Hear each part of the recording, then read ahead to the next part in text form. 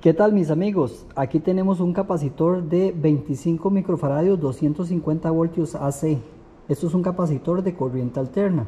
Lo vamos a cargar efectivamente con corriente alterna. Entonces vamos a conectarlo y vamos a conectar el enchufle a un toma corriente. Conectamos y vamos a medir el tester en tensión alterna. Entonces colocamos el tester en tensión alterna y medimos el voltaje. Vamos a medir y ahí nos dice 124 voltios AC, 60 Hz. Ahora bien, ahora lo que voy a hacer es conectarle un pulsador normalmente abierto. Vamos a desconectar acá y voy a agarrar el pulsador y lo voy a poner acá en serie a una de las líneas. Este es un pulsador normalmente abierto.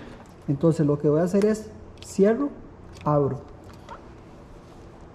Estamos cargando con tensión alterna, corriente alterna. Si medimos el voltaje en alterno, ¿cuánto vamos a medir?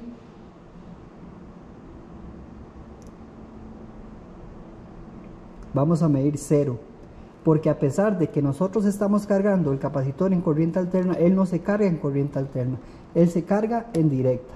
Y depende dónde vaya en ese momento eh, la onda senoidal, ya sea en el semiciclo positivo o en el semiciclo negativo, él, cargaría con una polaridad u otra. Entonces, estamos en directa, ya el pulsador está abierto, vamos a medir con el, con el rojo al lado derecho y el negro al lado izquierdo, siempre vamos a hacer esa prueba. Vemos que el capacitor se cargó con menos 80 voltios, en este momento se va a ir descargando poco a poco a través del tester, menos 78 voltios, eso se puede, se puede decir por qué marca negativo, porque muy probablemente en el momento que desconectamos estábamos en el semiciclo negativo de la onda. Voy a volverlo a, poner a cargar, desconecto, en el, momento, en el momento que desconecto ya el capacitor queda al aire, abierto. Entonces lo que hago es medir la tensión Ahorita me marcó menos 151 voltios, igualmente ahí se va a ir descargando. Vamos a hacer otra, otra práctica y veamos siempre el positivo a la derecha me marcó negativo. Va a haber un momento donde la carga va a ser eh, positiva, como en este caso, cargó a 49 voltios positivos. Eso quiere decir que en el momento que desconectamos estábamos en el semiciclo positivo. Otro ejemplo, carga a la hora de medir, ahora cargó en el semiciclo negativo con una tensión de menos 63 y ahí poco a poco se va a ir descargando. Entonces la conclusión es que a pesar de que yo el capacitor lo cargo en corriente alterna, él no se carga en corriente alterna. Es imposible. Es lo que va se va a cargar es en corriente directa y depende de la onda senoidal, ya sea en el semiciclo positivo o en el semiciclo negativo, así va a ser la polaridad del test. Porque por ejemplo también veamos esto.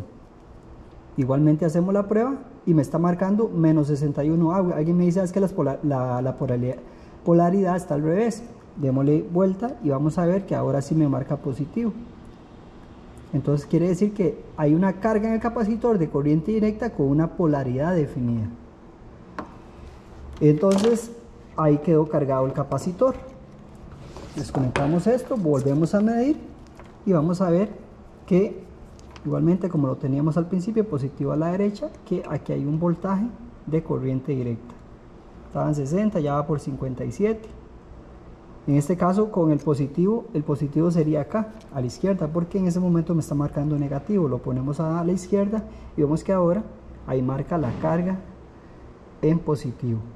Ahí está cargado el capacitor. Todos los capacitores en AC, una vez que los desconectamos, ellos quedan cargados con una tensión directa.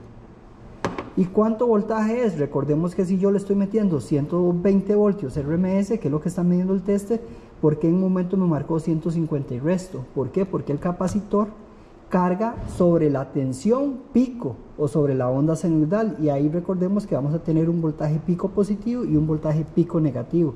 Por eso en un momento puede inclusive llegar, si desconectamos estando en 90 grados o en menos 270 grados de la onda senoidal, prácticamente el voltaje va a ser 170 eh, voltios o menos 170 voltios. ¿Eso por qué? Porque el voltaje pico con un voltaje RMS de 120 voltios viene siendo 170. Entonces de esa manera quedó cargado el capacitor en DC. Saludos amigos.